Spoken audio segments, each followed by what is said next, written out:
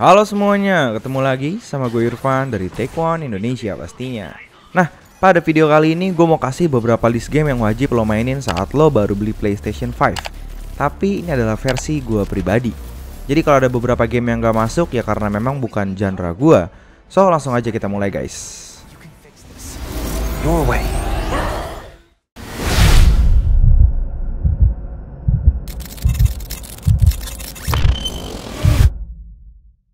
Yang pertama yang wajib lo mainin menurut gua adalah The Last of Us Part 2 Walaupun game ini bukan khusus dirilis untuk PlayStation 5 Tapi gue bisa bilang ini wajib lo mainin saat lo baru beli PS5 Karena game ini baru-baru ini mendapatkan game khusus untuk PS5 Yang bisa ngebuat lo mainin game ini di 60 FPS Walaupun lo udah pernah namatin game ini Gue rasa lo tetap harus mainin game ini di PS5 lagi. Karena 60 FPS game ini bener-bener ngebuat feel yang berbeda saat lo mainkan game ini untuk game ini gue nggak akan bahas lebih detail mengenai storynya karena menurut gue terlalu kompleks dan susah aja gitu kalau disingkat nanti malah jadi nggak jelas dan rancu. Ya intinya game ini tentang balas dendam. So, buat kalian yang baru beli PS5 silahkan mainin ulang The Last of Us Part 2. So, kita langsung masuk ke game yang selanjutnya. And I'm gonna kill every last one of them. Nah, ini adalah salah satu game favorit gue juga. Gua namatin game ini mungkin udah ada sekitar 5 sampai 7 kali, yaitu adalah Spider-Man Miles Morales. Ini adalah game yang pertama kali gue mainkan saat gue beli PS5. Kenapa? Karena gue mainin ini game pertama kali itu di PS4 dan gue bener-bener sangat amat suka dengan game yang satu ini. Dan gue penasaran gimana performa game yang satu ini di PlayStation 5. Dan yep, ini game betul-betul sempurna di PS5, 4K HDR dengan RTX dan juga pastinya 60 FPS. Walaupun haptic feedback dan adaptive trigger pada game ini kurang terasa buat gue, tapi visual yang diberikan sudah cukup memuaskan untuk gue pribadi. Game ini memiliki playtime yang cukup pendek sebetulnya mungkin sekitar kalau mainin terus-terusan 10 jam paling lama lah kalian bisa mainin. Di mana pada game ini kita akan menggantikan Peter Parker untuk menjaga New York. Dan seperti namanya, kita akan bermain sebagai Spider-Man Miles Morales, si Miles itu sendiri.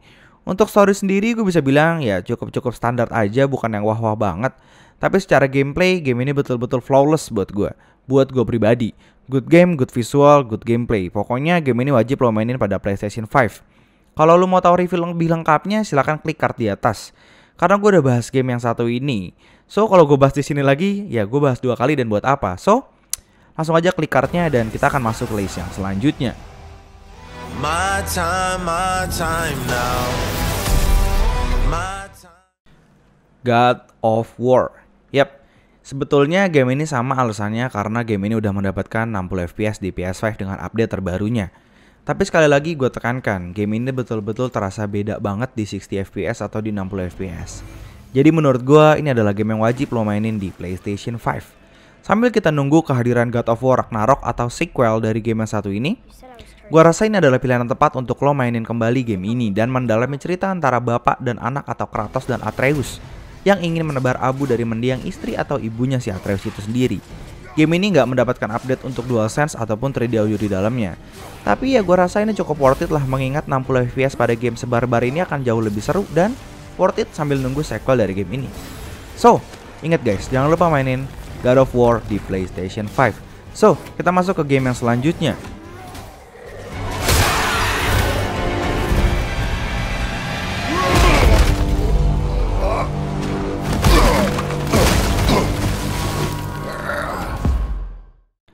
Nah, ini adalah game yang bener-bener gue suka banget. Salah satu game yang jadi favorit gue banget gitu kan di awal perilisan si PlayStation 5 ini, yaitu adalah Lady Dimitrescu Eh, kok Lady Dimi? Stress. Maksud gue Resident Evil Village atau RE8. Ini adalah salah satu game yang mendapatkan full support untuk PlayStation 5. Selain game ini bisa berjalan di 4K 60 FPS dengan ray tracing di dalamnya, game ini juga mendapatkan full support untuk DualSense. Game ini memiliki audio yang sangat baik menurut gue saat lo mainkan game ini menggunakan headphone, headset, atau earphone sekalipun. Tentu itu dengan bantuan 3D audio yang ada di PlayStation 5. Untuk full pembahasan game ini lo bisa klik card di atas, karena gue udah bahas lebih lengkap di video itu, inget guys. Klik card di atas karena gue akan bahas dua kali kalau di sini gue bahas juga. So, ini adalah game yang wajib kalian mainin menurut gue. So, list yang selanjutnya itu adalah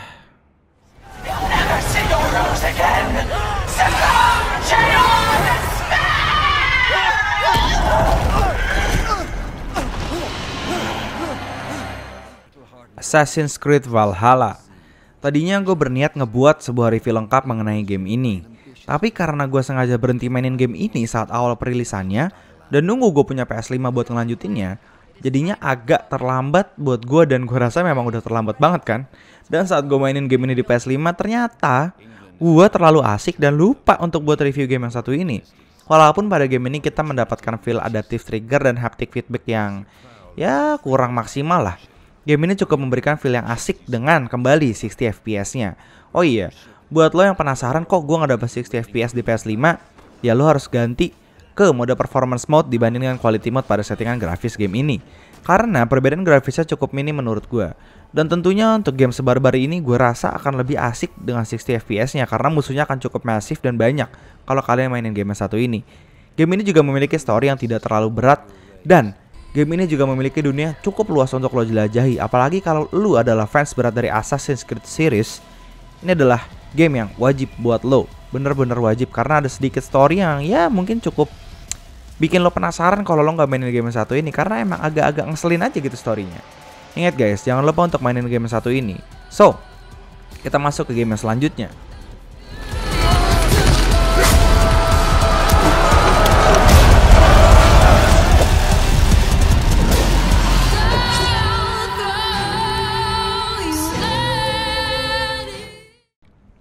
Returnal. Yep, game yang akan cukup ngebuat lo untuk mati berjuta-juta ratus ribu kali.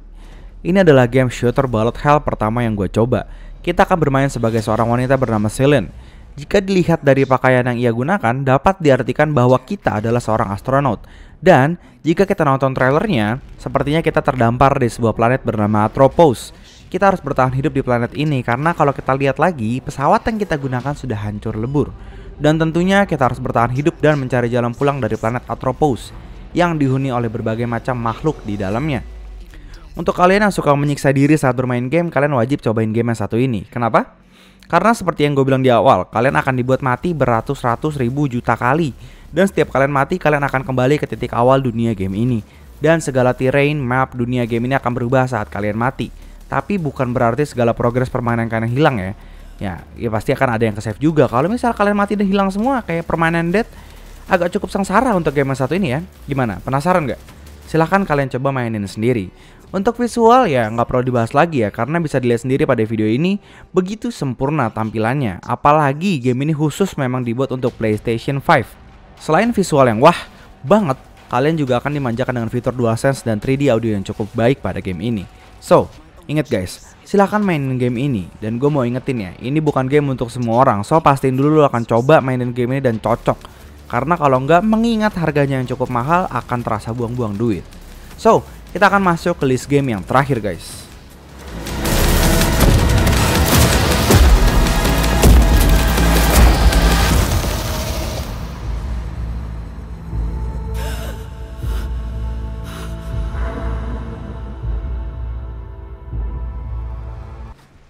Oke, yang terakhir yaitu adalah Scarlet Nexus.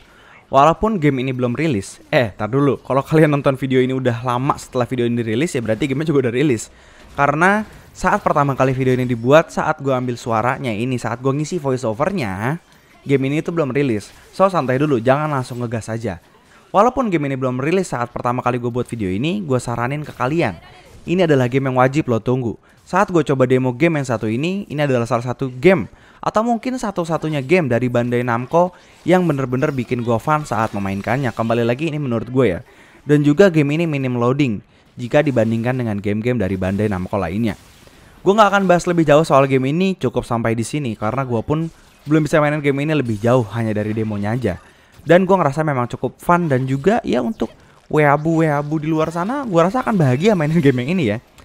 Ya dan juga karena belum rilis, gue belum tahu banyak tentang game yang satu ini. Ingat guys, So, silahkan ditunggu aja Scarlet Nexus. Ingat ya, jangan lupa Scarlet Nexus. Ini adalah game yang sangat worth untuk kalian tunggu dan mainkan juga pastinya. Game ini tentunya akan rilis pada tanggal 25 Juni 2021 untuk PlayStation, Xbox, dan PC. So, mungkin segitu aja yang bisa gue sampein, Gak bisa lebih banyak lagi karena memang menurut gue hanya game-game ini aja yang bener-bener bikin gue excited banget saat perilisan PS5. Sekarang yang gue mainin tuh ya masih game-game ini aja. Gue belum nemuin game lain yang cocok dan gue rasa worth it banget untuk dimainkan. Gue Irfan dari Take One Indonesia. Mohon pamit undur diri dan mohon maaf banget kalau banyak kesalahan dalam video kali ini. Buat kalian yang mau join Discord silahkan klik link di deskripsinya dan buat yang mau follow Instagram kita silahkan di follow di @take1ind Kalian bisa klik sendiri lah di bawah ada linknya juga dan juga ini ada screenshotannya, ada juga Instagram gue di @irfantriaji kalau kalian mau follow silahkan. Dan ingat bro, jangan lupa main game karena main game itu penting. Soalnya di real life lo nggak bisa main-main. See you. Thank you guys. しつこいわね